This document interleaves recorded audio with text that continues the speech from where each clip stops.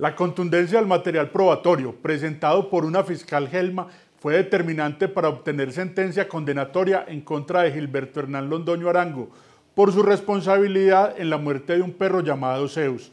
Los hechos se registraron en Medellín, en Antioquia, el 6 de septiembre de 2019, cuando Londoño Arango y otro hombre ataron del cuello al canino y le propinaron más de 13 heridas con arma blanca en el cuello, que le causaron la muerte.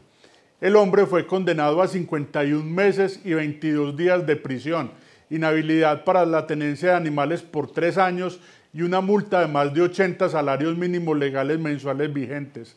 De otra parte, fue sentenciado a 12 meses de prisión e inhabilidad para la tenencia de animales por el mismo tiempo John Freddy Zapata Ruiz por causar la muerte de un canino llamado Rex.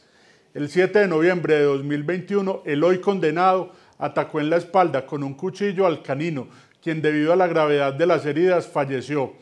La fiscalía habla con resultados.